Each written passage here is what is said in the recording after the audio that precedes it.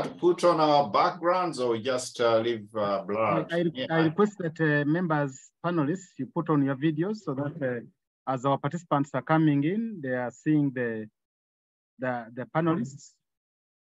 So let's put on our videos.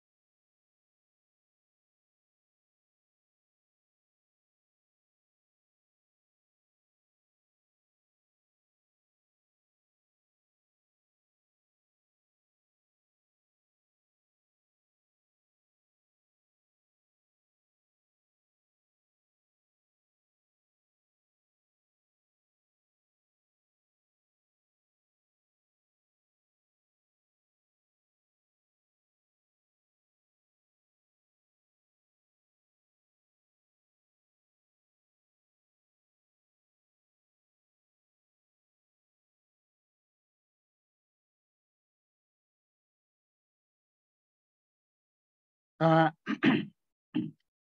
it's 2 p.m. in Uganda, and uh, I welcome all of you uh, to this webinar, uh, which is on uh, ChatGPT and its implication to teaching and learning in higher education institutions in Uganda and beyond. We are going to have uh, an engagement uh, on this topic for about uh, about one and a half hours, uh, where we shall have uh, panelists presenting on key topics that we have decided on, and then uh, later on we shall have an interaction and a Q&A session where we shall have our audience participate in providing comments, providing questions, providing solutions uh, to, to the different, to the issues at hand. Uh, uh, with you today, I am uh, Paul Birevu Muyinda, uh, who will be moderating this webinar. I am a professor of open distance and e-learning at Makerere University, and also the director of the Institute of Open Distance and E-Learning. Uh, before we proceed, I would like to introduce my panelists uh, here who are here with me uh, that are going to be dissecting and uh, engaging in this discussion. I will start my introduction with uh, none other than uh, Professor Umaru Kakumba. Professor Umaru Kakumba is the Deputy Vice Chancellor, Academic Affairs at Makerere University. And uh, he's also a professor of business management and uh, very, very interested in uh, issues to do with uh, digital teaching and learning. He's indeed the convener of this webinar. Uh, he's working together with the Institute of Open Distance and E-Learning to convene this webinar. Uh, second on my list of panelists is Professor uh, David Serwadda. He's a professor in the Department of uh, Disease Control and Environmental Health in the School of Public Health at Makerere University. His area of interest, his area of research is in uh, infectious disease epidemiology and uh, is a known professor in research uh, related to HIV AIDS. He has been in this area for 35 years, researching on HIV AIDS. Uh, but is also interested, so much interested in the use of uh, digital education, in the use of digital tools in teaching and learning and research. Uh, third on my list is uh, Professor Joseph uh, Balikuddembe. Uh, Professor Joseph Balikuddembe is the Dean of the School of Computing and Informatics at the College of uh, Computing and Information Sciences at Makerere University. Uh, his uh, actually his area of interest is in software engineering, particularly requirements engineering using AI, using artificial intelligence uh, for software development. So uh, he is a professor of computer science and therefore also interested in artificial intelligence. And then uh, next on the list of panelists, we have uh, Dr. Jamiah Mayanja. Dr. Jamiah Mayanja is a senior lecturer in the Institute of Open Distance and E-Learning at Makerere University and is also an instructional designer uh, in the same institute. Uh, she's also interested in uh, emerging technologies, especially AI, how AI can be used in teaching and learning. Uh, next on the list then is uh, Dr. Uh, Diana Nampija. Dr. Diana Nampija is also a lecturer uh, in the School of Distance and Lifelong Learning. She's interested in mobile learning for community development, and that's where she professes. Uh, next is uh, Dr. Godfrey Mayende. Dr. Godfrey Mayende is uh, a lecturer in the department, in the Institute of Open Distance and E-Learning, and also an instructional designer in the same institute. And then uh, last but not least is uh, uh, Mr. Richard Kajumbula, who is also a lecturer in the depart in the Institute of Open Distance and E-Learning, and also an instruction designer. But all these panelists of mine are all are all interested in uh, the use of all in research in emerging technologies for teaching and learning. So uh, without much ado, I, I would like to uh, commence our webinar uh, with a brief introduction about uh, this webinar and why this webinar is being held at this time. And uh, to, to, to usher us into the reason, the background as to why we are having this webinar is none other than our Deputy Vice Chancellor, Academic Affairs, Professor Umar Kakumba, who is indeed actually convening uh, this webinar. So I want to hand over the microphone to Professor Umar Kakumba. Over to you, Professor Umar Kakumba. Uh, many thanks to you, uh, Professor Paul Muyinda, for your generous introduction and uh, a great pleasure, colleagues, to be here with you, those joining us. Uh, the number is growing, quite excited, and I convey to you greetings from Makerere University. And also, colleagues, uh, I want to bring to you uh, the appreciation of the effort that uh, has been initiated in uh, arranging this conversation. We are here, ladies and gentlemen, and our uh, participants joining this webinar. We are here to appreciate uh, the emerging um, you know, changes and transformations in the area of IT and how IT is affecting higher education. As many of you are aware, the world will never be the same because the world is not sleeping. The world is thinking ahead of time. And uh, for us, if we don't change or if we don't adjust, we may be swept off, okay, you know, from our feet. And then we may not be able to keep afloat with the demands of uh, the contemporary world. When you talk about artificial intelligence, when you talk about uh, the fourth industrial revolution. Uh, there are many, many things that will continue to emerge.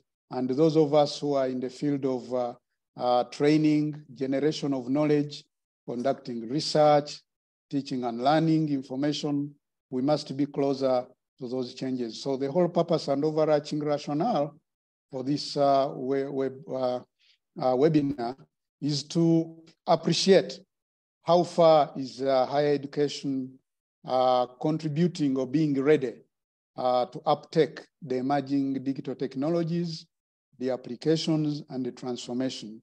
While we are today talking about ChatGPT as an intelligent system or tool or engine that can easily monitor someone and then be able to um, provide information and quicker you know, intelligentsia to somebody to, um, to be able to find solutions or to make decisions or to make actions. We are saying that the, the, the, the, the policies must be addressed. We are saying that we must appreciate because universities traditionally are very, very traditional institutions. Universities like um, uh, the judiciary or judicial systems, they are highly regulated. They have policies, okay? They have regulations, but they also have individuals who are academics who are trained in particular ways of thinking. They are endowed and are deeply rooted in their theories and, and something. So, so those theoretical propositions need to be integrated with emerging technologies. So it's opportunity here for us to have the conversation, appreciate what are the opportunities and prospects that are coming with ChatGPT as one of the artificial intelligence uh, systems or tools that are emerging. But we're also here to appreciate what is it, what is it that it can do, okay? Uh, what is it that it can, uh, there are ethical issues that are involved in, uh, in, in, in, in, in, in, in, in, in chat GPT. There are issues of plagiarism. There are issues to do with, uh, uh, you know, surrendering uh, all of the powers to, um, to, to, to, to, to, to, I mean, surrendering all the, all the responsibilities, abdicating the, the, the, the, the, the role of the student, okay, to the machine so that the, the thinking is relegated.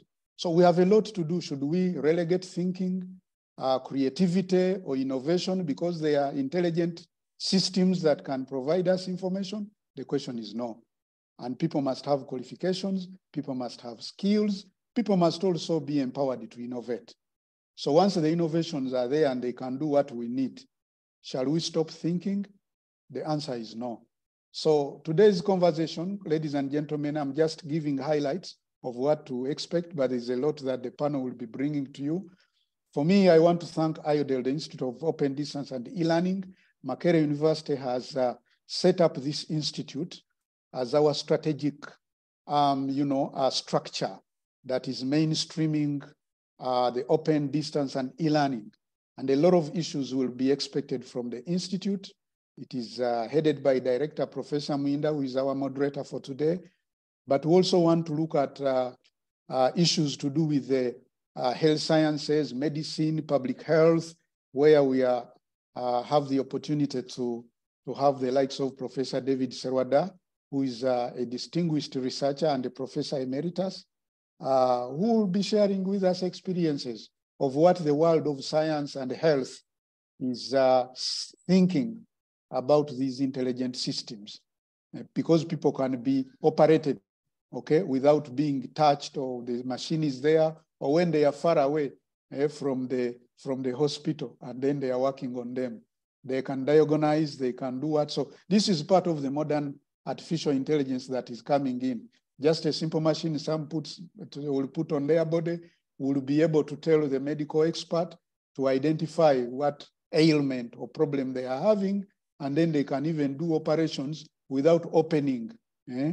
without necessarily opening the, the, So there is a lot to expect, colleagues, and IODEL will be uh, regularly, uh, will arrange a program to be bring us these webinars so that we can appreciate. And at the end of the day, we should be able to appreciate as uh, higher educational institutions, but also the variety of the stakeholders, including students, on how we can be able to um, leverage these opportunities without losing a lot as, uh, as a faculty, without uh, you know, losing the, the opportunity to think and be creative because we will have surrendered the thinking to others that have developed systems. And, and, and that's what we, we, we want to do to be proactive. Colleagues, I don't want to take a lot of your time. My simple task was to open this and give introductory remarks. I only said that to excite ourselves uh, and, and see what is going to be uh, shared into this. But this will not be a one-off. It will be a continuous uh, program that the IODEL will be arranging so that at the end of the day, we try to see how we can participate uh, in these new digital technologies and emerging innovations. Apart from that, I thank you very much for honoring this uh, uh, you know, um, webinar and uh, for participating. Please let us listen in, let us contribute, let us engage. Uh, thank you so much for listening to me. I now take the opportunity to cede back the microphone to the moderator and I wish you good interaction in these conversations. Thank you so much. Thank you very much, our convener, Professor Umar Kakumba for that wonderful introduction on what we are about to experience.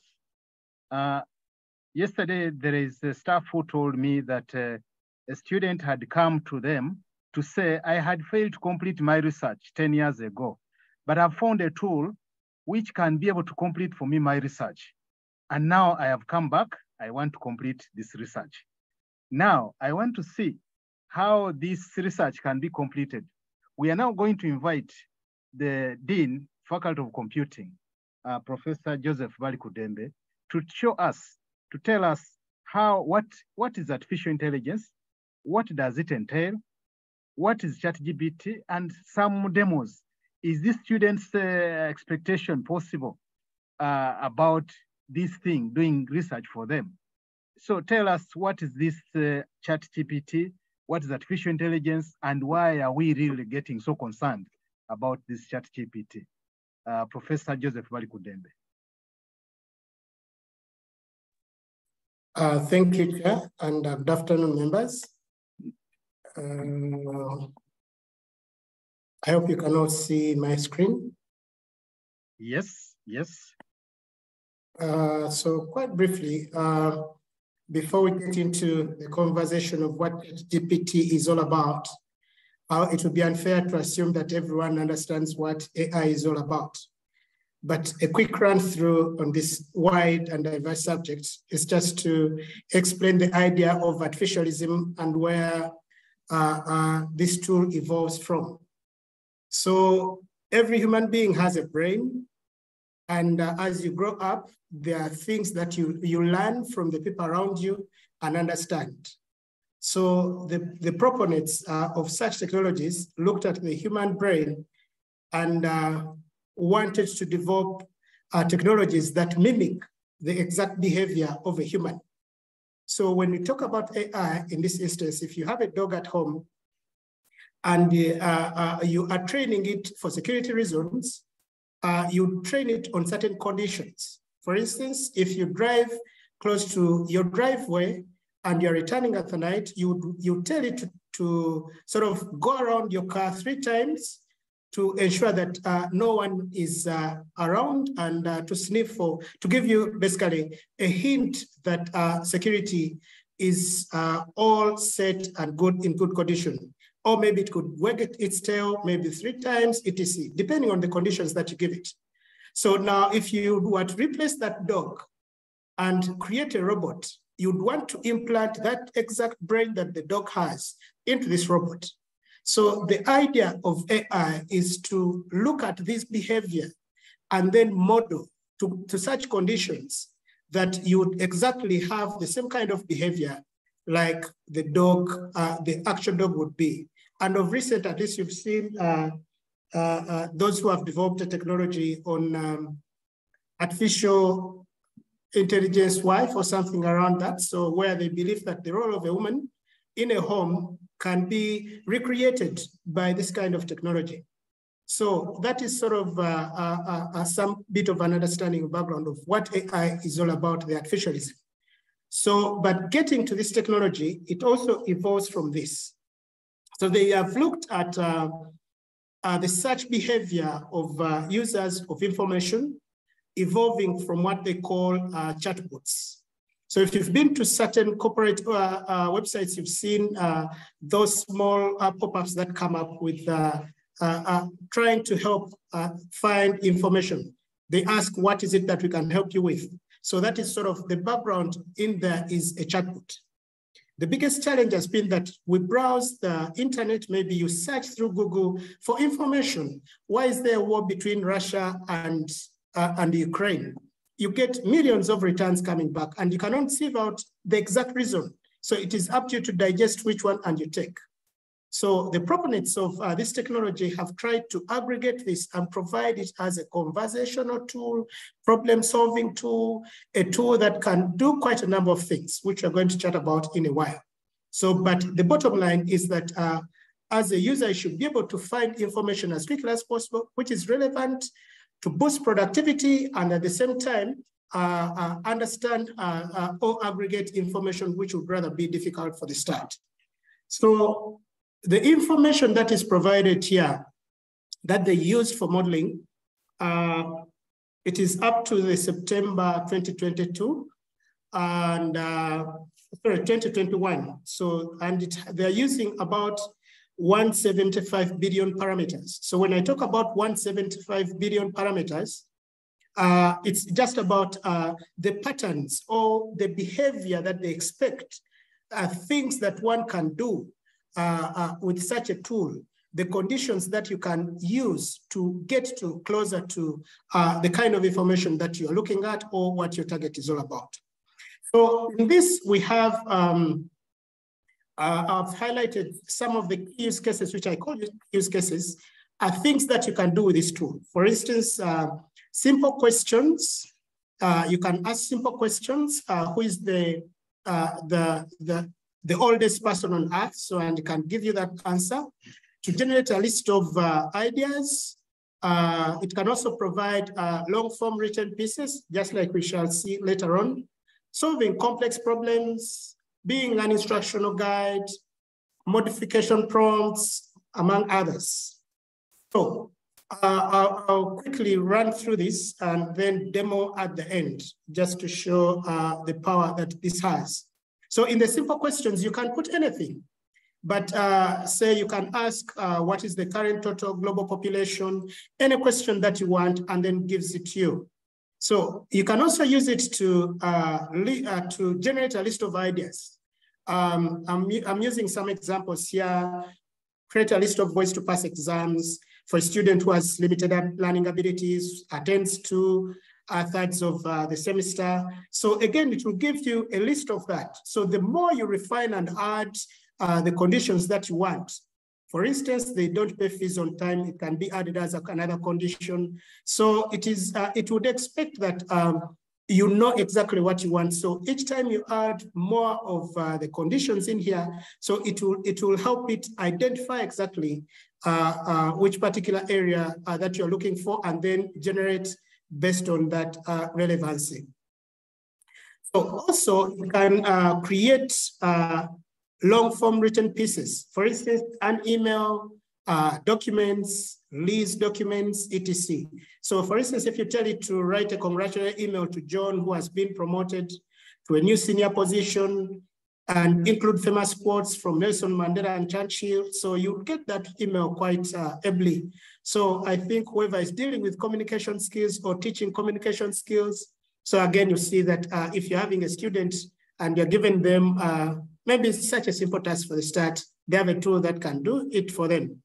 And if you're law, uh, instructing uh, students in law and teaching them how to draft legal documents, you tell them to create um, a lease document for rentals, so you'd include all the parameters and then this would uh, just uh, generate a document for them, for, for, for, for them. And uh, they can tell it the number of pages that it must generate.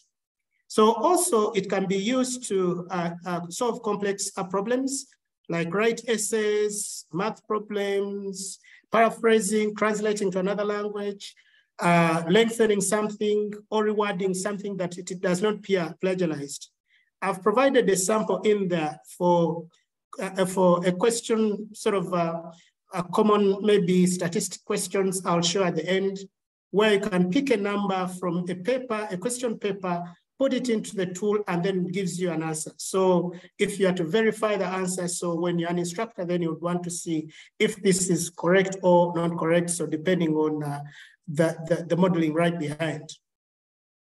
So the other uh, would be it being uh, an instructional guide uh, for instance, how do I make certain recipe, uh, recipes? Sorry, there's a, typo there. How do you commit suicide? But that is ethical, so it will tell you as it was modeled not to do that. So how to cook matoke so that it will generate. Also, if you wanted to uh, provide a modification prompts, so it can uh, translate, uh, reward, and lengthen essays, among others. So uh, here, uh, relating to what Paul said, there's a capability to modify data from text. I took this article off the internet uh, where you just give it an instruction to say, okay, look at this article. Can you uh, just tell me what problem that is being researched? Now that you've given me that problem, uh, can you output that as a, as a research statement in a thesis? And then uh, uh, after it, it, gives you that uh, statement, uh, you can say now you can uh, convert that into a keynote address for conference. And then you can strengthen, uh, lengthen the, the, whatever the output to maybe six pages. So regardless, but I'll show you just now in a minute. It can also be used as a conversation and advice. So uh, if you want someone to speak to or basically converse with, so you can ask it questions and gives you answers. So for instance, if you say, I'm thinking of stopping to drink alcohol, but my urge is still so strong for it, what should I do? So uh, it will give you the answer and then you can say, now can you explain it to me like I'm a five-year-old? So again, it will evolve and give you uh, a five-year-old answer. So um, I just want to quickly take you through um, uh, uh, uh, a demo. Um, here, so uh, it will be good. I would assume you go to AI.com. So you create an account. So the usual um, account creation process, which I've already done on my side. And then when you go to ChatGPT, uh, so it provides uh, the interface for users. So I'm not going to go through all the different uh, shortcuts, but it keeps a history of all what you're doing. So I already have an article here, which I took, uh, Understanding South, South African Mothers' Challenges to Adhere to Exclusive Breastfeeding at Workplace, uh, a qualitative study. You can share, Professor, can you share that screen? Okay, you stop sharing um, this one, then you share the other one. Okay, let me just uh, share.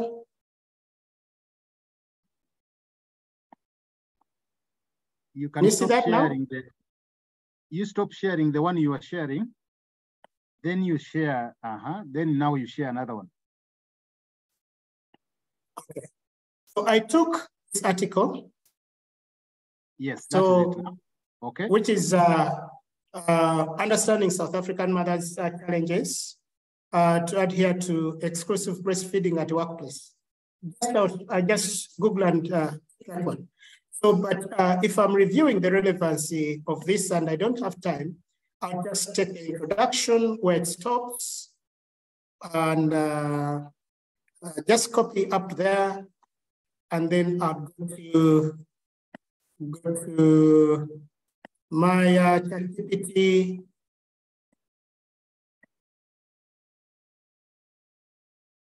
oh, okay. So, and I say from this, test, uh, what research problem is being investigated. So tool will basically uh, take some time and then generate. So it, it will give me a, a, a, a, basically a brief of that. Then I would say um, uh, convert that uh, to a statement of the problem or a thesis. So again, it would change that and give you uh, uh, basically a statement of the problem for thesis. Then I would say uh, convert that to a keynote address for a conference. So I'll be reusing it the same. So basically to help me quicken this process, I've been invited to speak and uh, I don't have time. And then um, I could say, now lengthen this to a five-page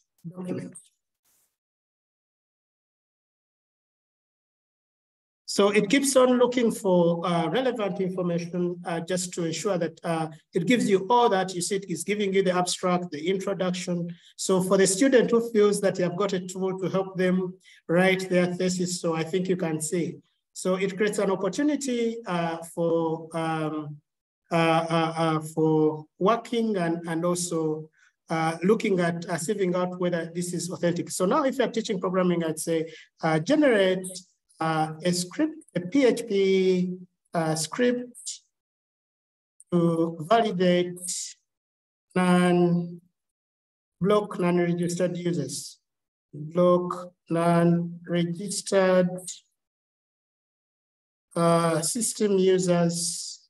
Um, uh, so for us who are teaching computing, so it will, it will, it will give you the code that you're looking at. So and, and then, uh, so it will generate that. And uh, for a student who is doing uh, computing, so that would uh, happen. So you can uh, do quite a, a, lot on this. Now I can say convert that to an API, a Java API. So I'm, I'm looking at different languages, which I'm playing around to see so now it's going to give me an output uh, of an API, which is in Java language. So when you have students, we are giving practical to do programming. So I think you can see uh, how smart they can get to get all this information out. So there is more that this tool can do. So even if you take a, a mathematical problem and you just insert it and say solve, uh, for instance, uh, let me just stop and I just show you quickly uh, this one before I close. Um,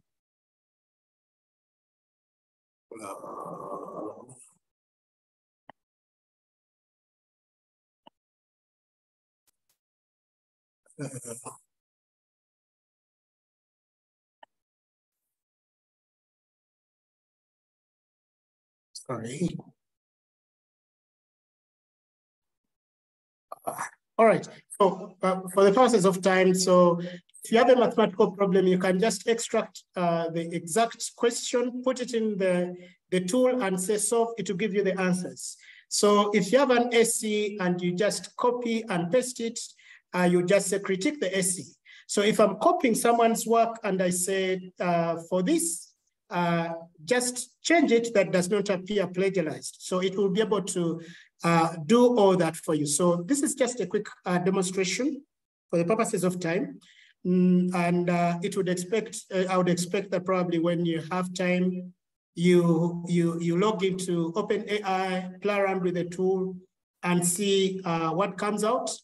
So looking at those uh, use cases maybe, and also play around with it and see on the power that it creates and opportunities that it creates. So I would like to call upon my co-presenter, Dr. Godfrey Mayende, uh, probably to give more insights on this and uh, uh, we wrap up our, our, presentation. Thank you. Yeah. No, sorry, I think time is up. Uh, Joseph, we can proceed. Okay. Um, yeah. All right. Oh, okay. Thank you very much, uh, Professor Joseph Balikuddembe, the Dean, uh, School of Computing and Informatics at Makerere University, for this wonderful illustration of what artificial intelligence is, what its potentials are, and uh, its, its affordances are. You can, uh, you can see that uh, our education system has to be worried because somehow somebody will say, we don't have, as teachers, we are going not to have work because uh, the, the whole system can be able to do for you whatever you want. Uh, this, of course, calls for uh, awareness from the teachers. Because if I'm a teacher and I don't know that such a system exists, then I, I, I will just see all my students being very, very bright because they'll be providing me with uh, very articulate solutions. And therefore I will say, I have a very bright class, but yet the class actually is not schooled. They are just copying from somewhere.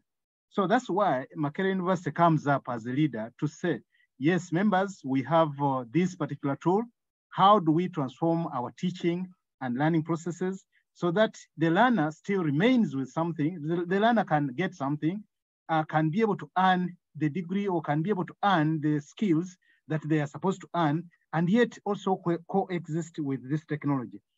Uh, we have come to see that uh, with this technology, there is no student at Makerere University who has complained they don't have a laptop, they don't have data, they don't have so because the technology is there to work for them, so everything's perfect. Everyone has a computer all of a sudden.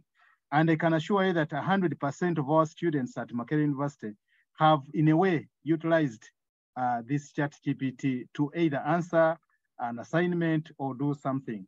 So the next uh, presentation uh, is uh, actually a presentation which I'm going to, it's just not a presentation, but I am just going to, to give uh, some uh, pedagogical uh, aspects on how the teachers can be able to use these teachers and students, how they can be able to use this uh, technology to be able to remain relevant and also to learn, not necessarily to just copy and paste.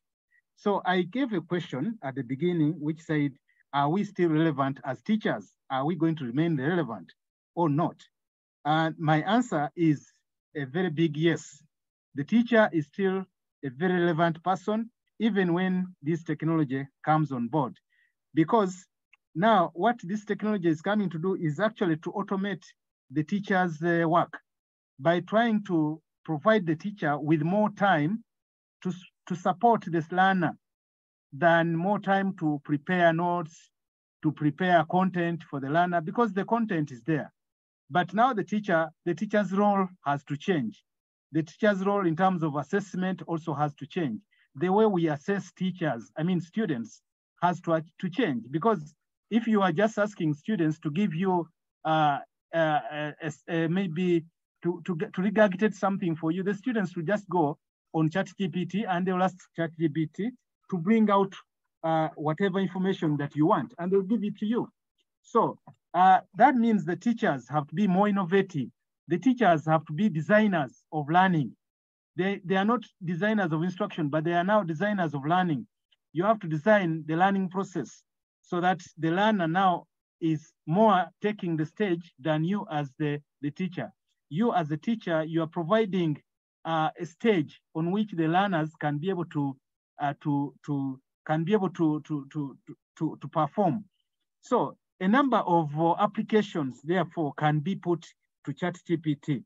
Uh, for example, the the teachers, as I said, should should help the learners to be able to generate their own content.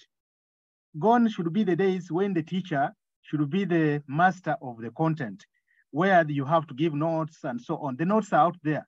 But what you need to do is now to design learning activities that learners can use, uh, can, where learners can be able to use the, the resources available to them, including the resource of ChatGPT, to be able to apply. So generation of on-the-fly teaching and learning resources uh, is one of the things that ChatGPT can be used to do for the learners and for the teachers. As the teacher is in the class, I can be able to generate notes by asking the learners, you, we are going to talk about a human reproductive organ. And I don't have the notes, but can we generate these notes uh, by using the devices that we have? Then they can generate, and then you from there, you can be able to pose questions based on that, uh, on whatever notes have, have been generated. Also, uh, we are increasingly now using it as a reflective uh, teaching and learning tool to have the, the learners be able to reflect. Uh, the, the, the, the equations are there. The, the, the, the, the code, for example, Professor Balikuddembe has just generated a code using ChatGPT. The code is there. Can you be able to, can the learners now be able to reflect on that code and be able to, to see, for example, why is an if statement being put where it is put and not where it was not supposed to be put? That kind of reflective learning uh, by providing the, the learners with different topics, and then you ask them to reflect on those topics. Without, and then they can go to ChatGPT, generate the resources, and they give a reflection on what ChatGPT is actually indeed providing. Of course, it can also help the learners in engaging with each other because in, in learning, we, use, we normally use what we call social learning, interplay of minds. You want learners to, to interact with each other. Now, if you want learners to interact with each other, uh, and they have different resources that have been generated, ChatGPT has generated resources, another one has generated maybe from Google, another one, they can bring together that rich, uh, uh, rich combination of knowledge and interact with each other and engage with each other so that there is more rich, a rich learning experience. So, so, so that there is more integration, there is more integration of activities and more engagement with the content uh, that is at play. So because content is everywhere, uh, we can, the learners also are becoming co-creators of knowledge. they're becoming co-creators of knowledge. So it is gone are the days when the teacher is the sage on the stage. The teacher is there just to facilitate the teaching and learning. But the, the, the learners can also now be able to generate knowledge. Uh, gone are those days when uh, the teacher will say, I am the only one with the knowledge. You cannot be able to challenge me. You have to let the learners challenge you by bringing in what they know and therefore create a rich learning experience, create a rich learning space where there is co-creation of learning. Uh, this co-creation of learning increases, it enhances the learning uh, process. And uh, we do, we now also talking about uh, ChatGPT as uh, improving teachers, trainings, communication skills. The teacher, for example, the, the teacher trainees or the learners, how co communicating, because as you can see, ChatGPT can structure a, a communication or a, an essay very well. And therefore, if a learner can be able to also mimic that the way ChatGPT is trying to answer or to write a, an essay, you can see that it is improving, uh, it's improving the learner's communication skills. Not only the learners, but even the teachers. Uh, so this is uh, coming on board to actually improve communication. It improves the communication. Somebody who didn't know how to write an essay can be able to mimic what ChatGPT is writing and also be able to follow that. Then uh, uh, the teachers are now increasingly using it also for assessment.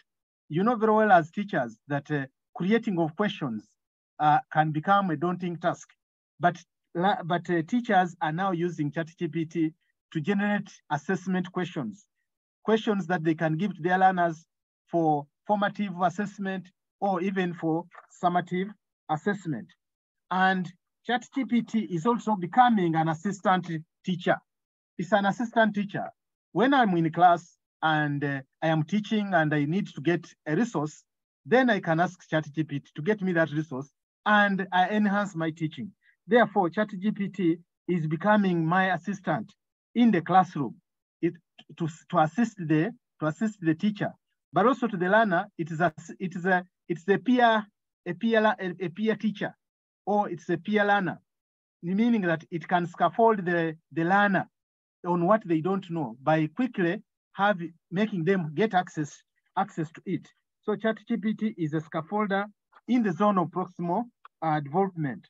And it, it can also be used as a personalized uh, learning tutor because I am moving with my gadget, maybe my mobile phone, and this is my tutor. I can ask them questions at any time.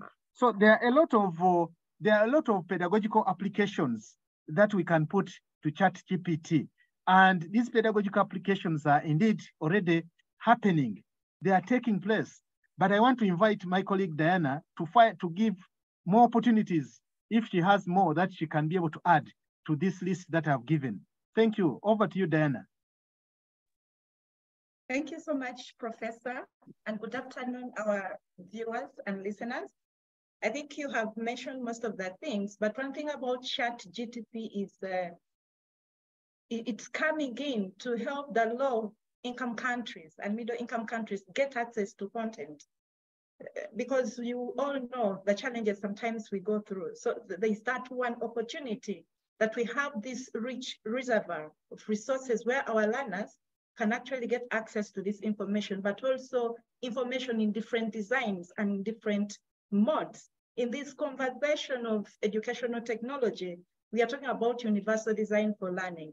Here comes an AI that is giving you different, different versions, different languages on how you can, you can, you can maneuver and interpret information. So I think for me, it's about that inclusive call that yes, we have these resources and they're available for everyone. Of course, it has the challenge.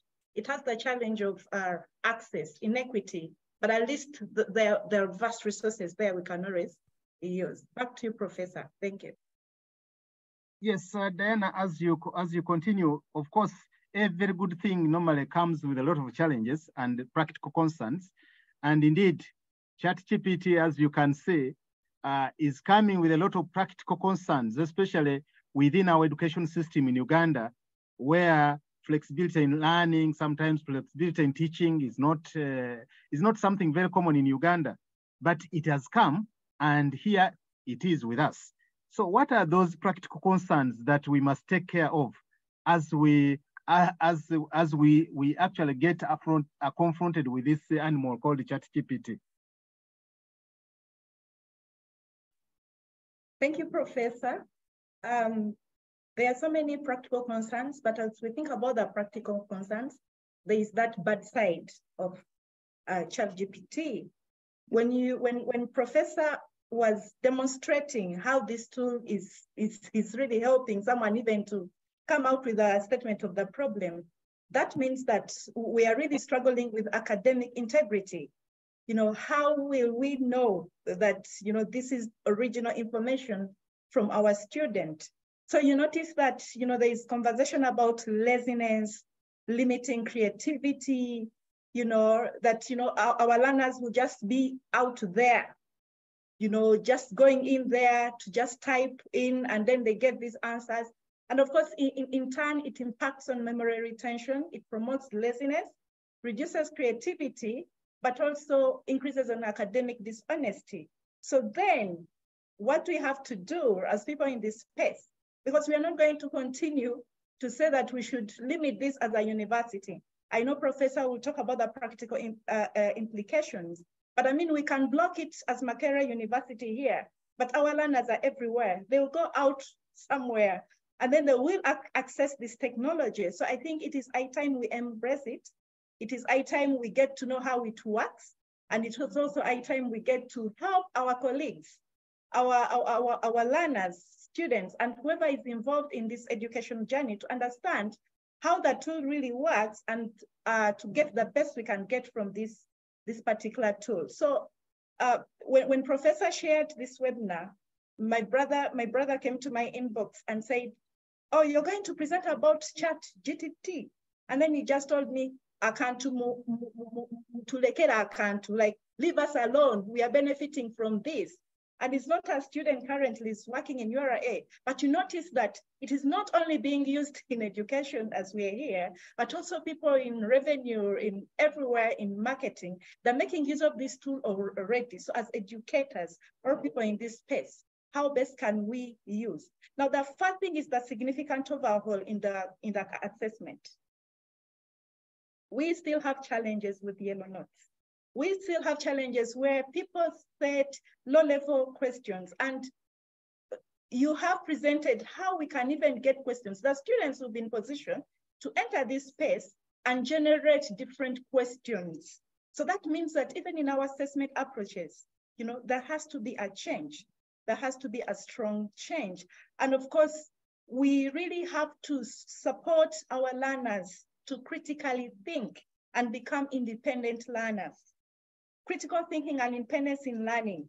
Gone are the days when we were talking about pedagogy and andragogy. Now we are talking about heutagogy, self-directedness in learning. You know, how are we going to nurture that learner who will get to know that when I come in this chat GPT space, I'm not only going to get information, primary information, but it should be something that is going to add on to my understanding and not just submit the SC per se, but that requires training them in critical thinking and, and independent learning. But of course, it's important for research. It's important to generate ideas. All these different ways, you know, how professor was demonstrating. I mean, they're very good for learning. And as teachers now, we have to support our learners navigate these digital spaces that fear of navigatism, I know Professor Mayende will talk about it, but learners have to be navigators of this information. We really have to help them understand these spaces, fetch and nurture. But of course, as teachers, we also have to be up there. We also need to know. I know from the humanities section, especially many of us here are wondering, what is this animal called chat GPT? Some, some of us don't know what it actually is. And it's high time that institutions are planning for capacitation exercises. You know, we need to think about how we need to train staff, continuous webinars like these ones on how we can, for example, help someone to assess using chat GPT. I mean, we shouldn't run away from whatever it is, it is giving us. But of course, we need to, again, bring out the complex ethical questions in regards to academic integrity. Thank you so much, Professor. Back to you. Uh, yes, I know. I know. Really, there are so many practical concerns, and I know that the audience is reeling with uh, uh, these practical concerns. But uh, here we are. We've been confronted with the ChatGPT and uh, generative AIs. Uh, but maybe I wanted to ask your colleague, Dr. Jamiah Mayanja, who is a professor of marketing. what are some of the practical concerns that the people in marketing are finding with uh, ChatGPT? Uh, thank you, Professor, and good afternoon, our listeners. Uh, we really have to appreciate that uh, these uh, uh, technologies are here to stay, but we also believe that while they are very powerful in many cases, they might not be in position to maybe to repress humans. So there, there should be a clear understanding of when and how to, to incorporate these technologies in different disciplines give it marketing, be it education, we need to know when to apply them. Find they can help us reach many people who are widely dispersed, but uh, that human touch is also very important when it comes to, to different disciplines. Now, like marketing, we believe that anything can be marketed, even you can market space, even you can market anything, but uh, you can use uh, this chat, uh, chat GPT when it comes to e-marketing because we really teach it in e-marketing. But there are instances where that human element has to be present to really convince a person that uh, this is what we mean by this. So they, they enhance the disciplines, but they might not necessarily replace the human being in the different disciplines. Likewise, in education, like Diana has emphasized, we all need to train these people to effectively use this not to, to misuse because there is using and misusing. So once they are misused, then they are going to affect the performance of our learners. They're even going to affect the performance of our teachers. So we need to know exactly when and how to use these uh, uh technologies, uh, especially when we are encountered maybe with complex issues because they have the information which is worldwide and which is generated from different sources. But also the, the, the issue is to verify the sources because it might not really give us the, the maybe the author, but if we use other search engines, we can verify the sources which has been given to us by chat ChatGPT so that we can apply it consciously. Thank you, Professor, and over to you. Uh, thank you, thank you very much, uh, uh, uh, Dr. Jamiah. Now, uh, we come to Professor Serwadda. professor, you are a visiting professor in a number of world-class partner universities in the world. As you said, as, as, I, as I introduced you, you have 35 years of experience in researching on HIV AIDS, not only in Uganda, but also in uh, the USA, UK, and so on. And uh, you teach in many of these universities as a visiting professor and so on. And uh, I know that in those universities, artificial intelligence has been the, the thing. They have been using it. For us here, it's just emerging in Uganda. We're, we are just kind of seeing it as emerging, but it has been the norm in many of these universities where you have been a visiting professor, a visiting researcher, and so on. So can you share with us some insights and experiences from those partner universities, especially in the USA, on how they're using these generative artificial intelligence systems like uh, ChatGPT? Uh, thank you very much, uh, Paul, and I appreciate the opportunity to speak to a wider audience here on my experiences uh, uh visiting other universities and how they are using AI. Uh, uh, I would like to first of all clarify one thing. Um, this webinar is really talking about chat GPT. But I think chat GTP is important to point out is just one, it's a chatbot. It's just one of many, many AIs out there. Basically, chatbot is really a computer program designed to stimulate human into conversation, all interaction through text, all uh, voice. So there are so many chat box, and Chat GPT is just one of them. And out of interest, I actually do not use Chat GPT much. I actually use the Google uh, chatbot called Bard, and I'm going to tell you why. Uh, but it's important to know that uh, when you just look at uh, Facebook, there are like 300,000 uh, ch chat box out there, programs that have different functions.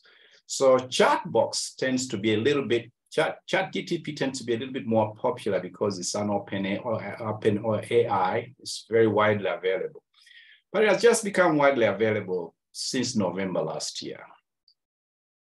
But turning to my, in January this year, a group of academics from Makerere in, in, in, School of Public Health, we were responding to a, a, a notice of application uh, for funding. And I asked members on the table, uh, how many of them have ever heard of chat GTP? January this year, staff, Makerere staff, none had had, none. And then we quickly asked them to register you, you go register your email, whatever. And then we registered. And then I asked him how to write. Can you write an intro, you know, with prompt to set prompts and ask what can we write an introduction to the subject we're talking about? And he started doing the introduction. Everybody was amazed. And then it said, can we, can we prompt it with the right prompts to write the methodology? it started to write the methodology. It's a very powerful tool and it's becoming very powerful. Chat GTP has released its first version now. I just recently came out, Chat GPT 4. It's amazing. But here's the point.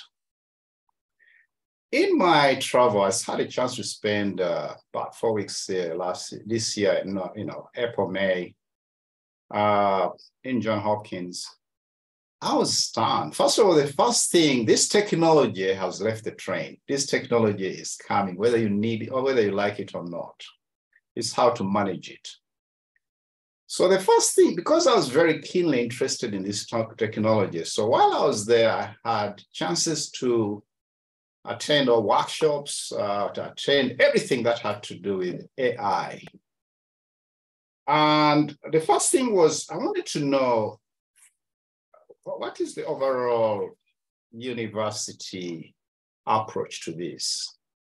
So I was very impressed. The first thing in January this year, there was a message from the Office of Academic Affairs, one written to staff and one written to students about AI. It's not specific about ChatGPT. As I said, ChatGPT is just one of many chatbots. And what is interesting, the message that was went out to staff was also copied to student. The message that went to student was also copied to staff. In essence, if we start with the staff, it was actually imploring the staff the implication of chat GTP on academic integrity and what its implication would be in designing your courses and assessments. And it informed staff that there will be a number of workshops and training, and it sent out several articles to inform staff. Now, it is so critical that staff have what we call AI literacy. And this involves data literacy and algorithm literacy. Staff needs to know what kind of tool AI is if you are going to understand how the students are going to use it in your assessments or assignments. So this AI is such a very powerful tool. I, I was amazed from as a um, how a demonstration of actually feeding just the raw data and then giving chat GTP the right prompts, it can go about generating the codes to actually do the analysis you want, and then be able to actually do the introduction, the methodology, the results, and the discussion. So basically, a student can actually generate, go pick up his data, do his field data. If you have the right skills to generate the right prompts, it can actually write you a paper or write you a dissertation. But now, staff have to learn how to actually recognize that actually this output is AI generated. And these are the workshops that we need to have available to staff. Because there are softwares that are now available. ChatGTP has its own software to detect that this product has been written by ChatGTP, for example. But there are so many other sophisticated software. You can either paste a sentence or paste a paragraph and then look at it and generate probability that it was generated by AI. But staff need to know about this. They have to get themselves. Very skilled staff can actually read it and be able to figure out. For example, AI generated sentences tend to be short and they tend to be, you know, there's a tendency to have a pattern of repeating certain words and sentences. But staff has to be knowledgeable. Because if you're going to understand that this is a work generated by GTP or AI, you have to understand it. So staff has to use it. You have to keep using it. And by the way, as Joseph said, the more you use it, the more it learns about you. You'll be very surprised one time when you generate, it, you ask a question or to, you know, to design a paper or to write a, an essay for you, and it is really generates a lot of your personal, feeds in a lot of your personal uh, information. For example, I was asked to write an eulogy for one of my friends who had died. And uh, I was using BARD, not ChatGTP. But it was able to know that actually I had lost my mom and dad. Because the more you actually use it, the more it's also collecting information about you. So it's a tool that you have to know.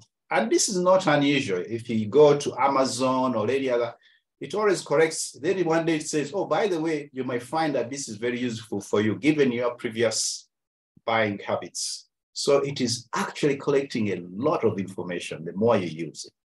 But I think what the universities have instructed staff is they haven't created new policies as such, they have actually referenced particularly the, policy, the policies on ethics that are there, particularly regarding cheating and plagiarism. Those are the policies that are feeding in there. They have also empowered staff. And the students know that a staff can restrict the use of specific tools in the answering or carrying out certain assessment. And that is usually put priori when they are giving out assessment. This is restricted in your assessment. When you use it, because you have been told priori, when you use it, and then we detect that you have used it, then we are talking about either cheating or just copying. But you have to let them know right from the beginning. And actually, they have also encouraged, as we are writing courses or as we are writing syllabuses, to actually put in the parameters to what extent this can be used. Uh, but I'm going to talk to you uh, later on from my practical experience. You, it can actually be used very creatively.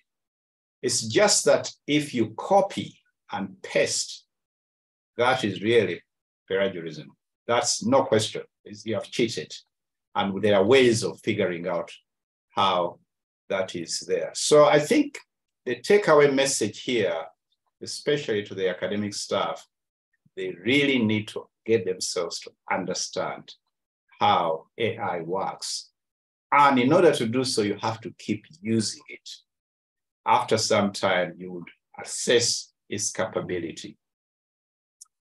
Um, actually, staff, once you do that, uh, staff actually can use it to actually ask questions. Or you can have a teaching session, then you can ask the uh, ChatGDP, what are the questions I can ask to students? And then you generate, generate the questions. They generate the questions, staff generate questions. But if a question has been generated by ChatGDP, it can actually be answered. You bet it can be answered by ChatGDP. But staff uses them to prompt what actually students are likely to answer their questions are. Or staff uses it to actually generate questions. In fact, I attended a section on how to, how to generate questions that cannot be answered fully by ChatGDP. Uh, I have 10 minutes, so I can't go into the details. But we have now to train ourselves to be ahead. What are the questions ChatGDP can answer? And what are the questions that it cannot answer? Or if it has answered by ChatGDP, how do you detect it from uh, when the student provides, provides this answer? So in cases where you use Chat ChatGPT and you are trying to quote a certain uh, text, it is now required in many in this university to actually make a disclaimer that this particular section, it has to be fairly limited, is generated by Chat ChatGPT. But the more you actually generate, uh, put claimers or texts that are generated by Chat ChatGPT from faculty's point of view, it's going to lower your mark, although you have put the disclaimer, because you're actually using or generating, the basis is that the information you're using to put into your assignment or whatever is not completely generated by you. It's not your own work.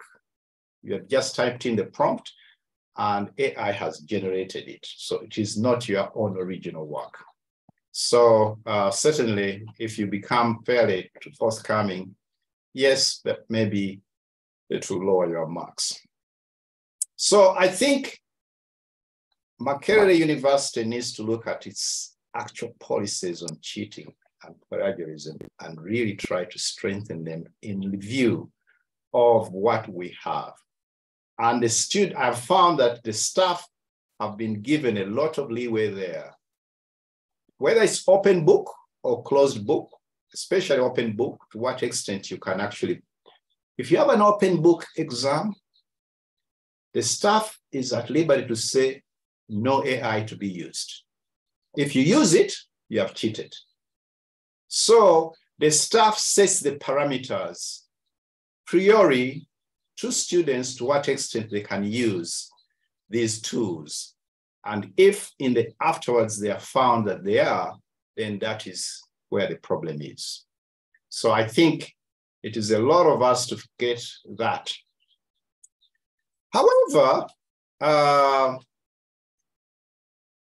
use of chat of AI is is almost 100% by students out there. So our staff, the use of staff, especially, and this was very impressive to me, elderly staff, I'm interacting a lot, I've collaborated with very senior teachers of mine, they're already using it.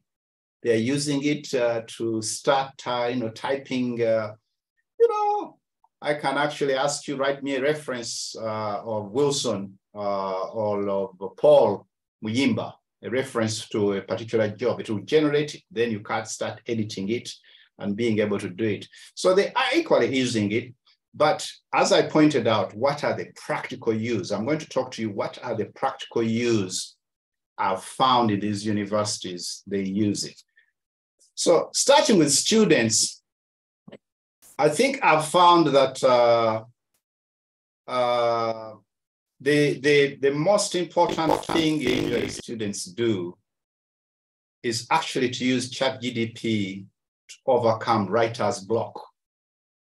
A writer's block is you're given an assignment and you really don't know how to start, you know, and but when you put in when prompts for this assignment, Chat ChatGDP may generate ideas or must start generating ideas. And then you find, oh, okay, this connects. Then you start to use those ideas to actually, in your own words, to start to put together uh, you know, your course assignments. Uh, or it can be used to brainstorm research papers. For example, I've found students who are looking for research papers on a particular topic and they do not know and say, look, I'm interested in looking at malaria in under five in Uganda. Which are the areas that, uh, you know, require more work? And it can generate the topics for you that, uh, you know, that it feels that this is an area that then you can go re-verify, figure out whether this is area. So, but originally you had no idea. So it, it becomes as a sort of a seeding a point for ideas. But one thing I found very interesting, and I hadn't realized this, is students are actually using ChatGDP, especially foreign students, are using ChatGDP by starting entering text and paragraphs, and then ask ChatGDP to rewrite it in a grammatically correct English. So students who are having English as a second language have really manipulated ChatGDP to write for them very well grammatically uh, correct English, verbs, punctuations. To be honest, uh, even Ugandan students may need this because when we are writing or evaluating uh, you know, responses, the English is really, really going down but they intensively use this. You know, students from French speaking, the Chinese, they are writing essays. The staff tells me they write essays. They are not exactly copy, but what happens is uh, when they put in what the ideas they want, then it generates, then they be able to modify. You see, these, these, uh, these programs that are actually looking for sentences that are generated by AI, they are looking at a pattern. They are trying to look at probability. It just gives you a probability that 50%, 60%.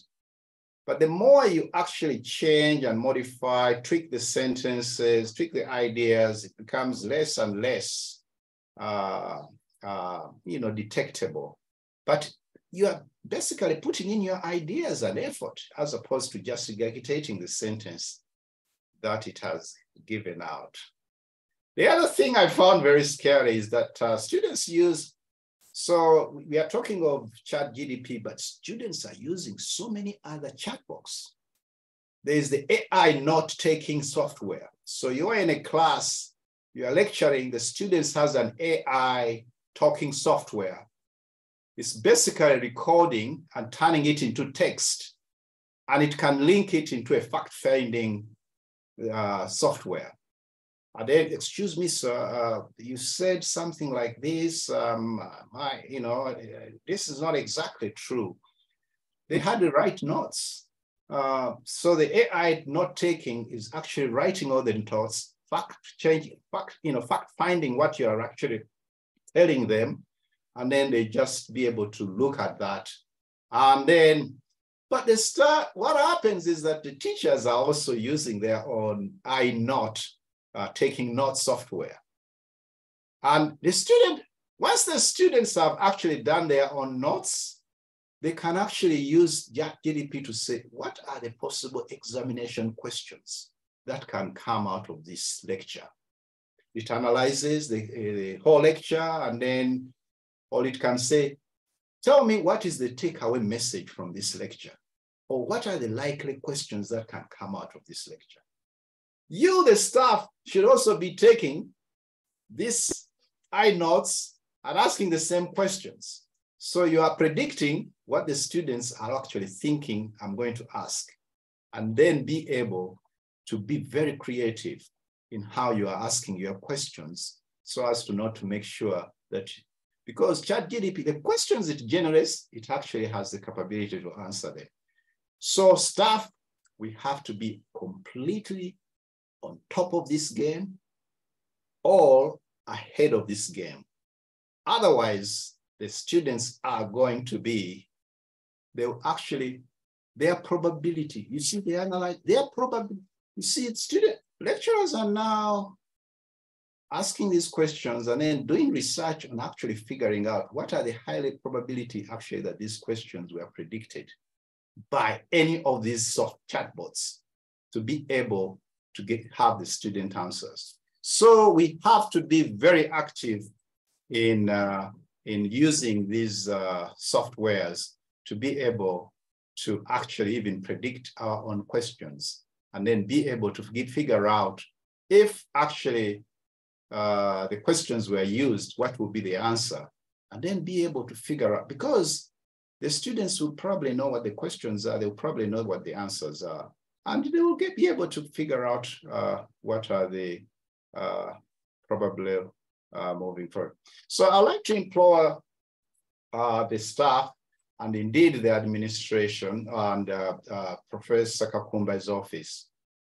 There has to be workshops, there has to be um, seminars on really teaching uh, uh, staff to be able to be very cognizant on how powerful this tool are and be able to use it very creatively uh, in terms of their, in terms of the way uh, they do their exams, their assignments, and their teaching.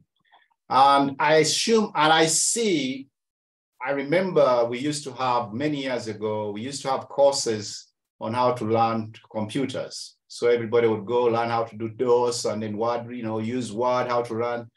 These courses on AI, I see them now as imperative for some time enough until everybody gets to understand what it is all about and what its capability are in order to be able uh, to be on top of it. Thank you very much.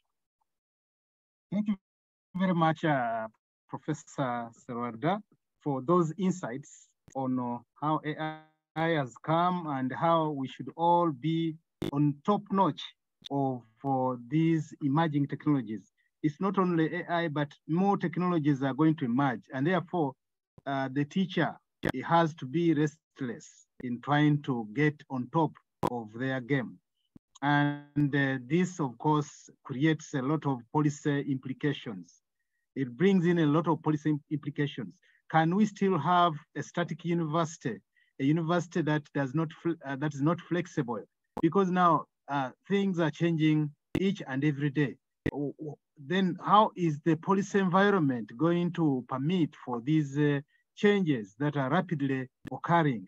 Uh, so to discuss this, I think uh, Professor Umar Kakumba, who is in the, in the, at the helm of policymaking at Makerere University, academic policy making and administrative policies uh, can be able to give us an insight into what are those, what are the implications now for us as uh, higher education institutions, as universities, as Ministry of Education, as government, because we need to be guided on how we should be able to move within this automated world. The world is becoming more automated. We no longer wash our dishes using our hands at home. We have washing machines for dishes. Now, even learning has become automated. What shall we do? What policy implications do we need to look at? Professor Umar Kakum.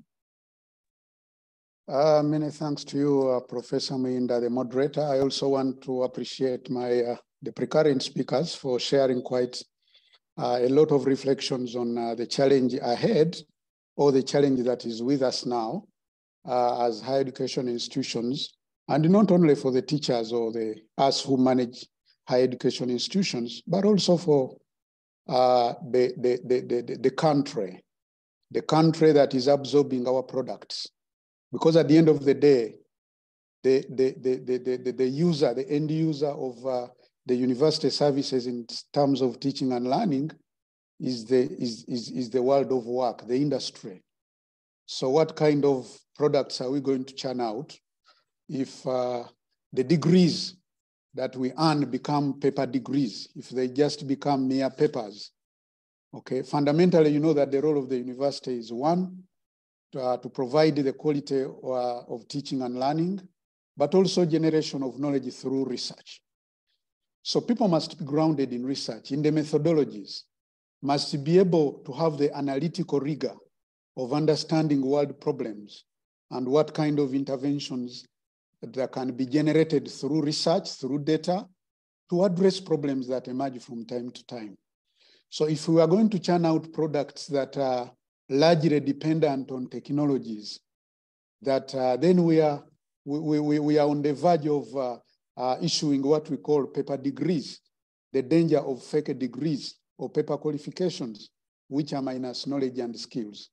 So this debate is coming in here.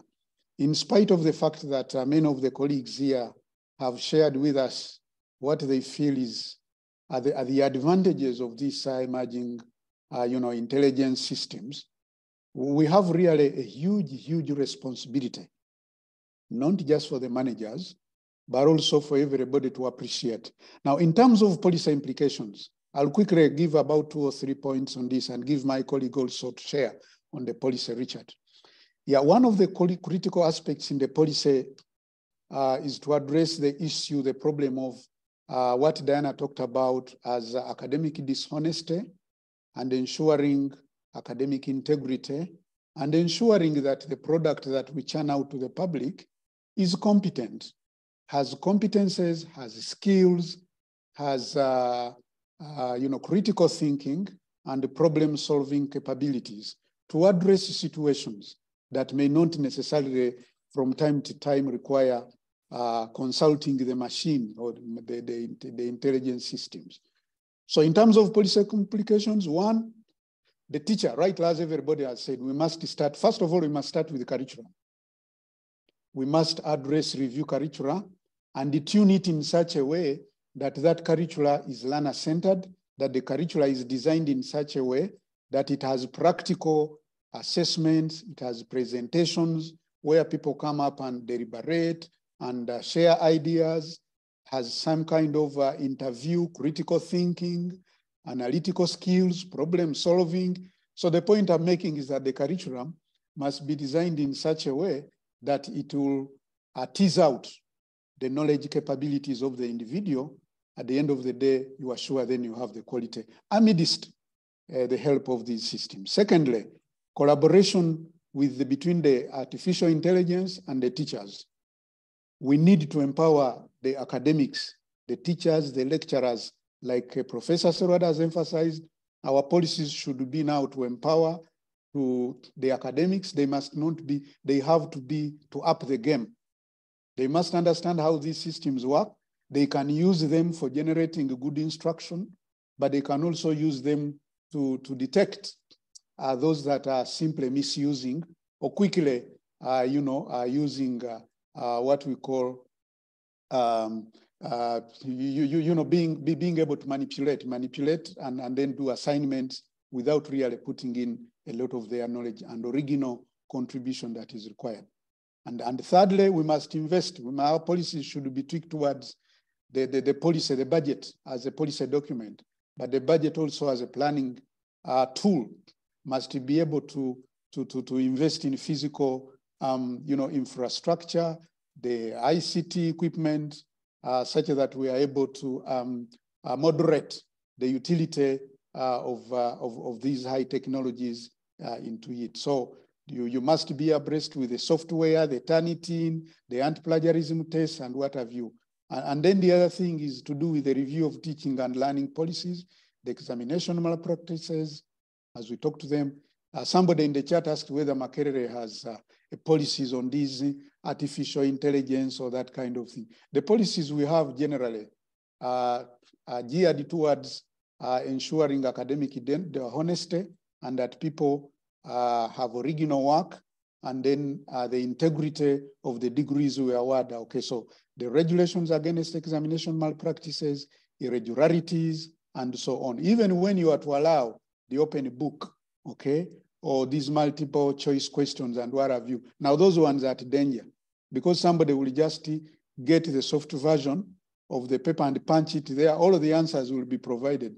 and somebody, a paper of 30 minutes, the multiple choice questions, can do it in about five because the, the AI will have provided all of the answers from the objectives that are so. So intellectual property also is because ChatGPT raises questions on who owns the data, on who owns the information. There is uh, uh, issues of IP, intellectual property. So the policies have to be uh, addressed in that way. The distance learning itself, the way we understand the traditional distance learning, the policies must also be adjusted uh, in such a way that you incorporate these opportunities for um, these systems that can allow uh, people from diversity to access knowledge and opportunity for teaching and learning. I'll give uh, the hand to my colleague quickly, uh, Richard Kajumbula, uh, to, to, to, to share with us a few aspects along with the policy interventions and how we can be prepared.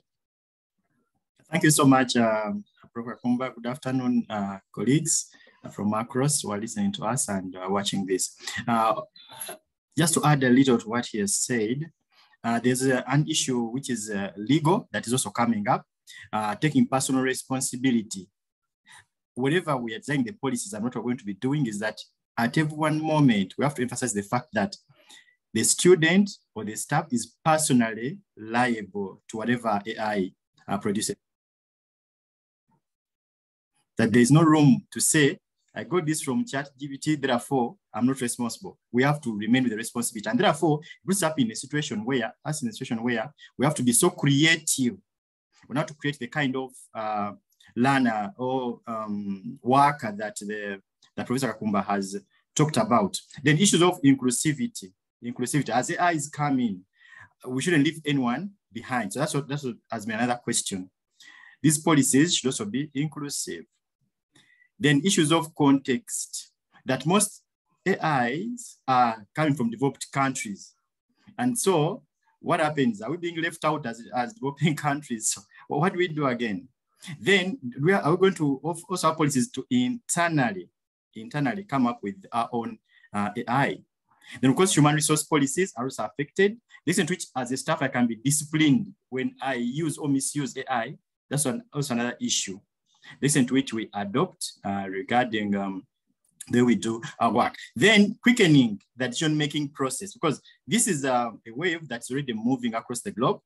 How quickly can these policies be uh, designed and implemented because we know sometimes in institutions it takes quite some time.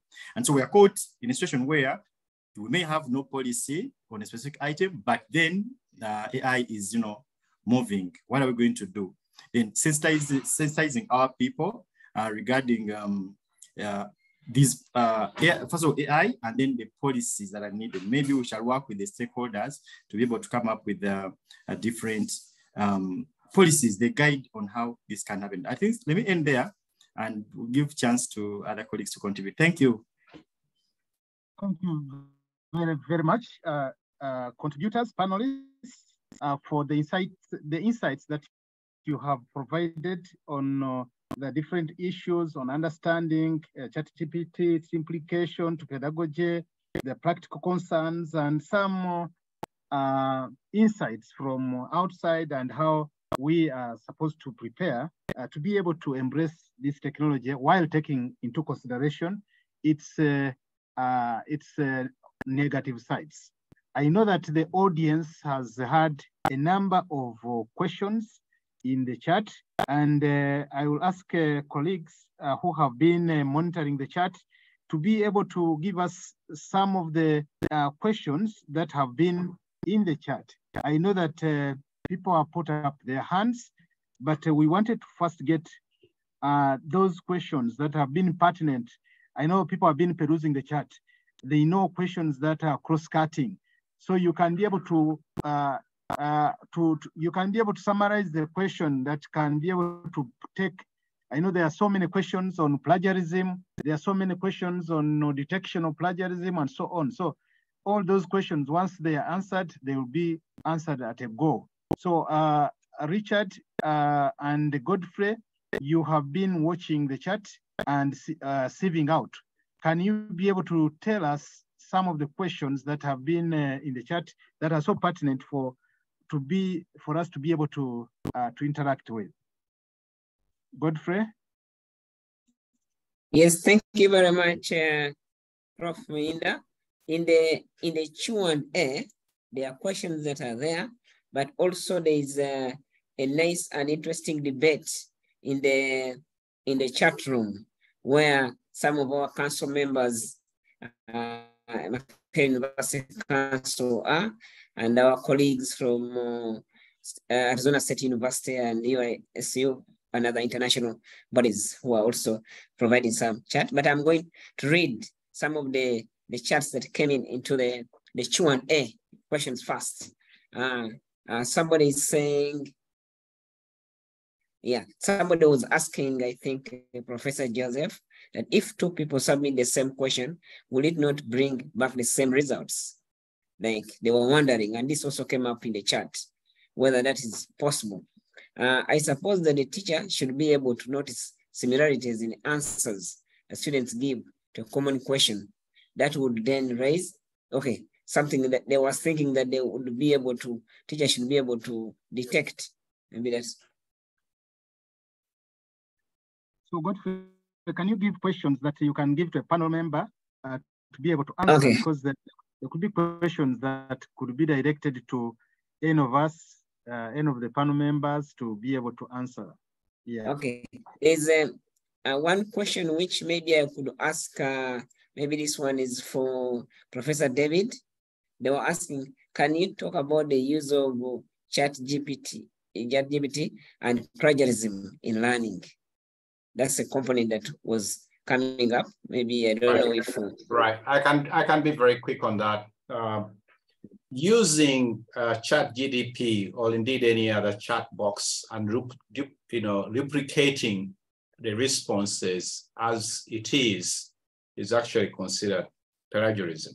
So in fact, that's why in many universities out there, they haven't really generated necessarily new policies or guidelines uh, specific to AI because they find that if you have good, strong policies on cheating, plagiarism, this is actually enough for them to actually deal with AI and many other AI tools uh, that can actually take care of this. But it's plagiarism. But somebody asked me uh, in this chat whether there are tools that can actually detect uh, whether the response has been produced by AI.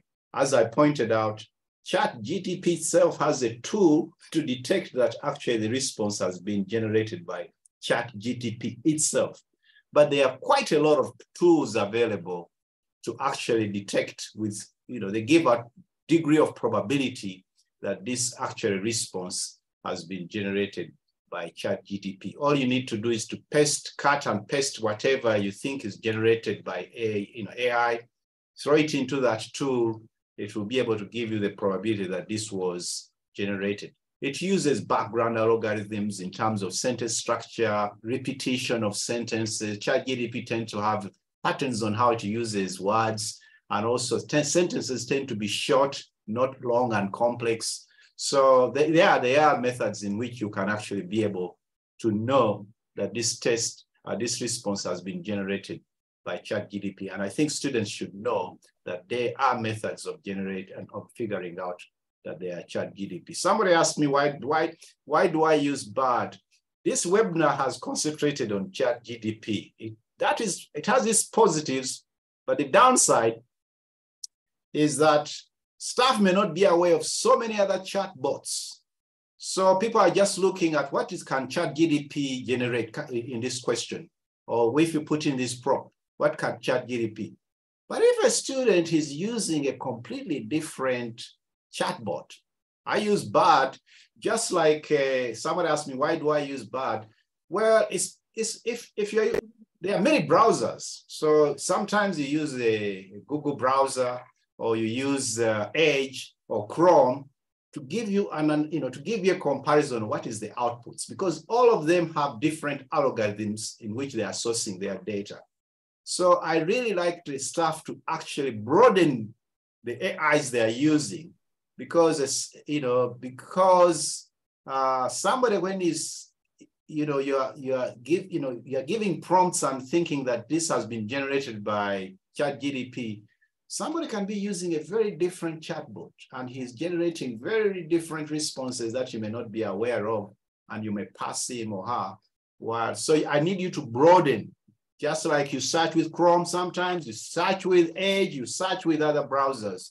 You need to know and get a feel of what the differences are. Thank you very much. Yeah, thank you very much. Yes, another question to Professor Umar Kakumba. Somebody is just asking, is there any policy guideline at Makerere University that relate with AI currently at Makerere University? Do we have uh, any policy that can relate with uh, uh artificial AI?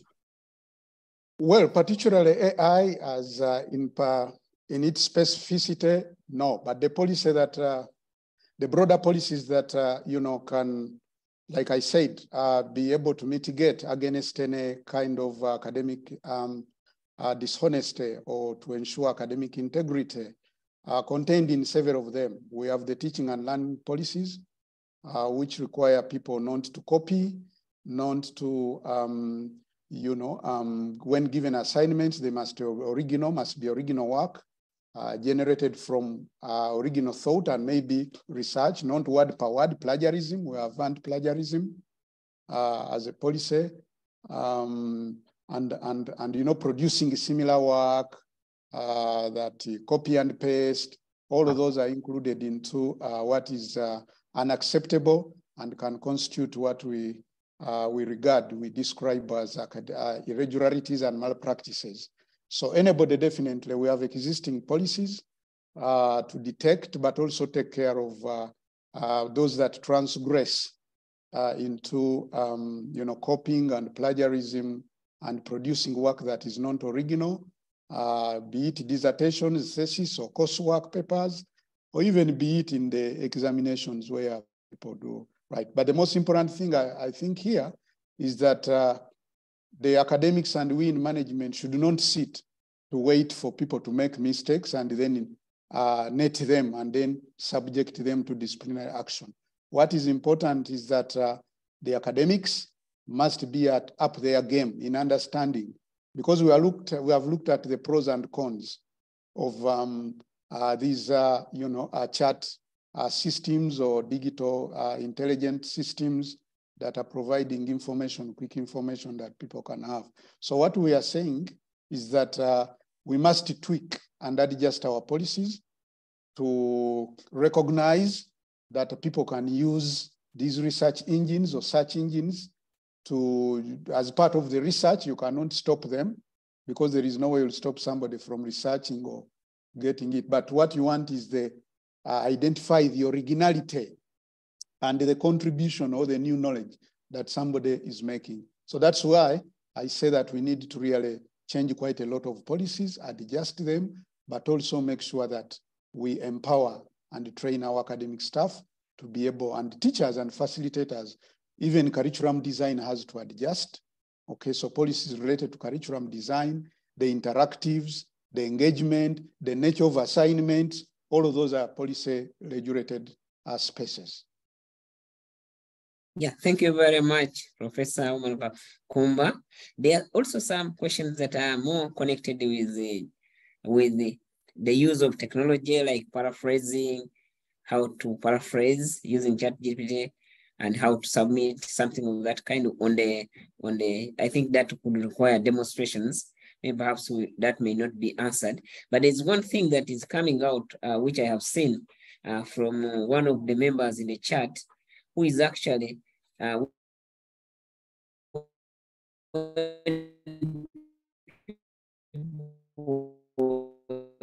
demonizing demonizing as long as as long as it is promoting learning uh, so that also came up in the chat and there were what, arguments. What, can you repeat that? Because uh, the network, I think, was a little bit problematic when you're speaking.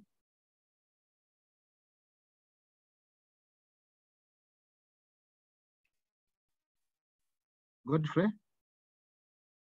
Hello? Okay. Yeah, the, that chat. issue of demonizing, which you were talking about, but uh, some people okay. were saying the network was not good. Yeah. Okay, uh, Professor, I can repeat. Like in the chat, as people were trying to say that demonizing the concept of cheating uh, because of the chat GPT, one of the members said, cheating is not bad.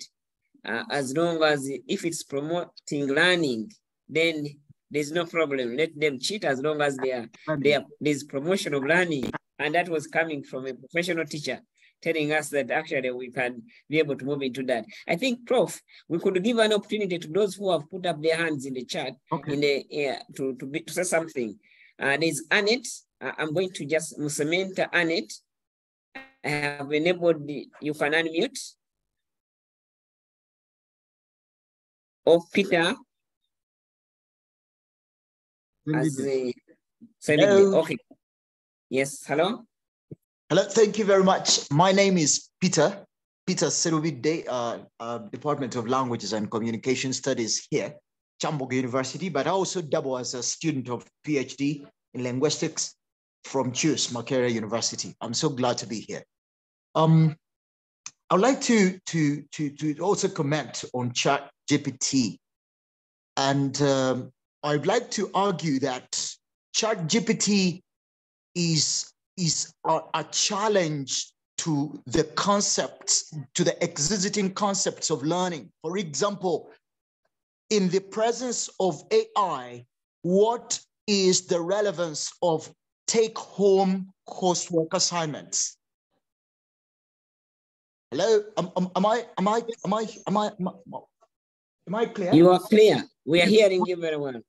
Yes, I was asked, I was, yes, I was just probing. I was I've just I've just got interesting questions here that in the presence of ChatGPT, what is the relevance of take-home assignments anymore?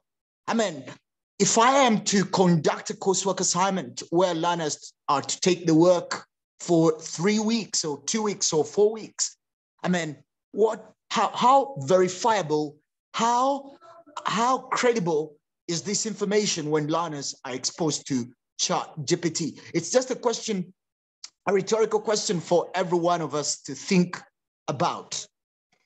That's number one. Number two, I think it's high time we subject every learner to a viva voce.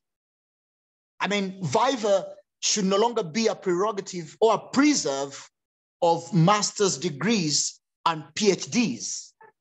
I mean, there is need to redefine what to know means. Now, to know no longer means the ability to produce only the intellectual information that somebody has got, but to, to verify by, by, by, by, by you know, presenting that information in new contexts from examples from real life away from writing and reading. I mean, there is a need for a viva voce at least even at undergraduate level. I think that should also be thought about. I mean, to corroborate the information, if the learner really learned what was taught, then they should be able to articulate and use examples, novel examples in, in their own in their own new um, new context and new environments. Otherwise, if if, if assessment only remains on writing and reading and ma marking examination scripts and marking scripts and scripts, I think we might fall short of, of verifying whether the information is correct or not. And then lastly, lastly, I think now that there is a need to make every course have an internship. Why? Because ChatGPT to me is telling us that one who knows it is one who can apply it. That there ought to be new avenues of making our learners do what they claim they know. And one of the avenues, I, I dare say, is to allow them do internship. I mean, any course without internship, with time, by the this advent of by this advent of AI will will render us incompetent or it will uh, render us irrelevant. There is need. I submit. Thank you. Yeah, thank you. Thank you very much, Peter. Thank you Very much, uh, Peter. And I think Peter has been calling for authentic assessment. we must turn away from our user assessment to what we now call authentic assessment. Okay, thank you very much. Uh, I, I think wanted- Annette, I, I wanted to respond to Peter though, uh, Paul. um, Yeah, Peter raises very good points, uh, Paul. Uh, but Peter, in his submission, he also is giving solution. But actually, assi- assignments, my experience when I was in, in, in the US and I'm trying to tech, talk to TechChat, they, do not, they don't see assignments, even takeaway assignments, even open book. There, there's teachers who give examination, open book examination, and they clearly allow you to use OpenAI. You, here, here's a trick, Peter. You really need, and they have been uh, coursework and, how, and uh, seminars to lecturers on actually how to give assignments that cannot be answered by ChatGDP. The, the point here is that the lecturers need to get a very good understanding on what are the capabilities of ChatGDP and where its limitation. And therefore design, for example, uh, I was given a very good example. Um, a, a- a lecturer told me, a professor told me now, he's, he's, he's got a way of designing his assessments. He gives a classroom, a class, a paper, a, a- a, paper produced, uh, you know, written in, in a journal.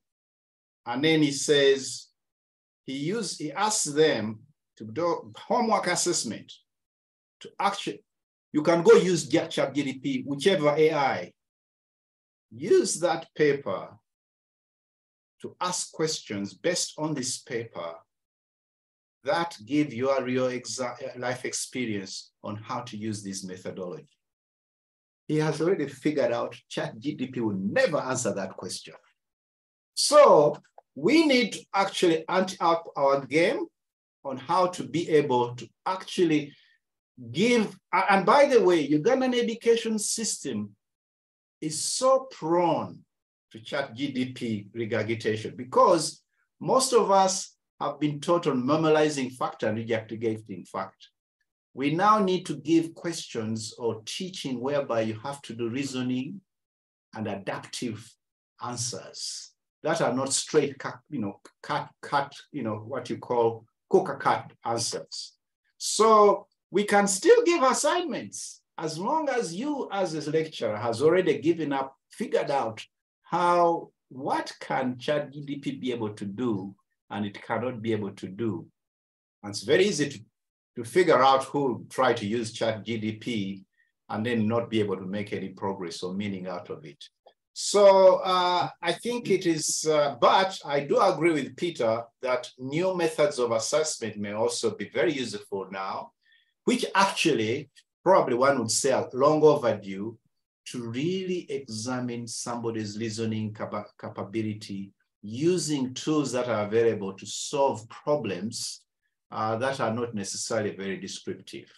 So I think uh, uh, assignments will still be very useful as long as you are able, able to know what are the capabilities and be able to figure out what actually chat GDP or these AIs can be able to do or not. Now, uh, Yeah, thank- now, thank- colleagues, uh, Godfrey, uh, Yes. we we ran we ran out of our time for this webinar, but uh, I I really don't know whether we can go we can stretch any further. Uh, but we the time is is actually long spent, but you can be able to to give some more chance to maybe some two more people who have put up their hands to to comment and ask questions, and then we can be able to call it a webinar ended. Okay, thank you very much. I know that there are a lot of interesting, we have a lot of interesting uh, comments, scenarios, and but this is just the starter. We shall be organizing more of these uh, more of these webinars to to to get more insights. This is just a starter, and uh, the interest is really very very high. As you can see that we've hit more than 500 participants. Yeah. Good. Okay, thank you very, thank you very much, and thank you, Professor David Serwadda, for that uh, insightful example. And I see that uh, our, our council member Diana was actually saying we need now unit-based trainings in this area so that we can learn how to set the real questions that ChatGPT cannot what? Cannot be able to, to find. But let's allow Annette, uh, Annette Musmenta, uh, his hand was up. Annette, and then we shall also maybe ask uh, Anthony Nsubuga. But Annette? Okay. Anthony, maybe Anthony can be able to answer, and it is not there.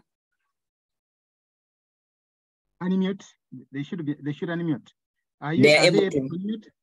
They are able to unmute, yes. Yes, Nsubuga? Maybe I go to Henry. Henry? Henry? I think people put up their hands. Yes. Henry. Yes, you can get me. Yeah, thank you so much. I am Galiwango. I am a staff at uh, the School of Education and I'm also a PhD student at the College of Edu- Agriculture. Yeah, me, I am very happy and optimistic about this tool. Um, I'm always, uh, well, we are we, we are both colleagues in Makerere, but uh, uh, this idea of uh, staff sitting on students' work, things like taking two, three months without reading the proposal. Don't you think ChatGPT could be the way to go? Because I mean, if if if if you can subject this uh, text to that to that proposal, it could I mean give you a guideline. Because many complain or many pretend to be busy and doing their personal projects, but the student is waiting and sitting and waiting for comments from the supervisor. So I think going this way could be the way to go. But I mean, we shouldn't leave all the work to into Chat GPT. We have because I mean we can override Chat GPT. It is just a tool to enable us go on or work as smartly and quickly. And then, um, if you remember very well, we had the COVID phase where we were tasked to uh, give scenario questions. I mean, because the students were home and were using um, using their laptops to do the, the exams, so we also changed our examination. I mean, tactics. And I mean, why can't we also rethink the way we are to do the examination such that it stops at asking the memory, memory, memory, to now asking questions that are, you know, fifth generation. If you sit in international presentation for PhD students, they are moving away from the traditional impacts of effects of ETC in research. Let us rethink even the way we do work at Makerere. I think, well, I think I'm running out. Thank you.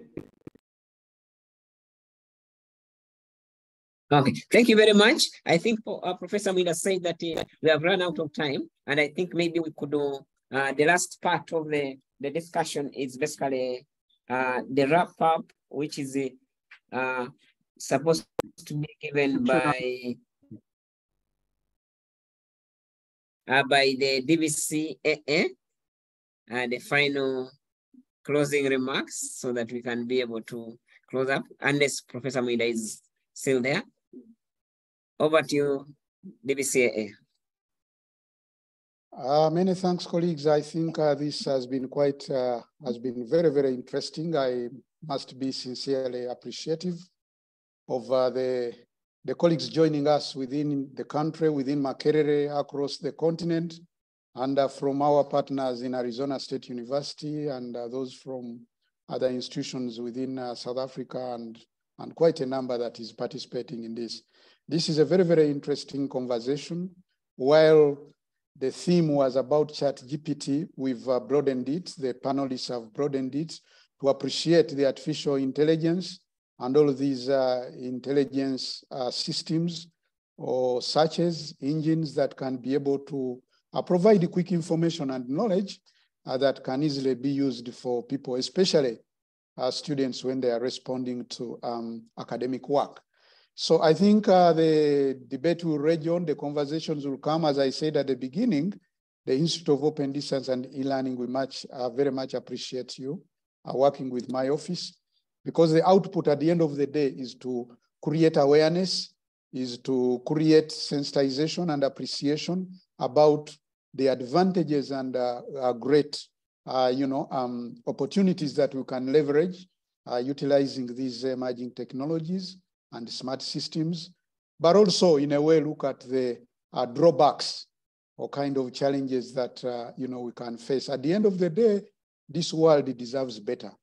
For us in educational institutions, we must be able to churn out products that can represent the competences, the skills, the knowledge, the capabilities that can address uh, the world, world problems and development needs. That is the, funda the, the, the fundamental you know, um, expectation that everybody has. Our university is still worth. Some people are asking, do we still need teachers when we have this chat GPT and other systems that can easily give us information and learn? Yes, we need the teachers, we need the universities, but the universities must adjust, the curriculum must change, the teachers must adjust and, and enlist new ways of testing people and seeking out and sieving out competences or teasing out, uh, you know, ways on how people can be confirmed to have uh, undertaken and uh, being be, be, be, uh, to have equipped themselves with the skills that the world needs. Uh, colleagues, I don't need to intend this uh, anymore. I want to thank you so much, the panelists, Professor David Serwadda, Professor of Public Health, colleagues from Iredell, Professor Muyinda, the moderator, Godfrey Mayende, Professor Balikuddembe, the Dean of Computing, Informatics Technology, uh, Richard Kajumbula, uh, colleagues uh, Jamiah, and all everybody that has joined us. Please look forward uh, to the next uh, you know, conversation. At the end of the day, the university and uh, every our stakeholders will appreciate that this is an animal with, with, with around us that we must be able to find ways of working with it and leveraging the advantages, but also mitigating the dangers that come with it. I thank you so much for this. May the good Lord bless you all. And I wish to declare uh, this uh, uh, webinar uh, closed for today. Until then, uh, thank you so much. May the good Lord bless you all. Amen. Thank you. And Bye bye.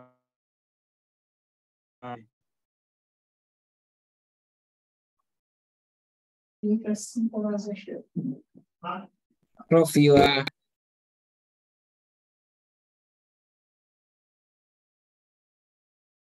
Yeah.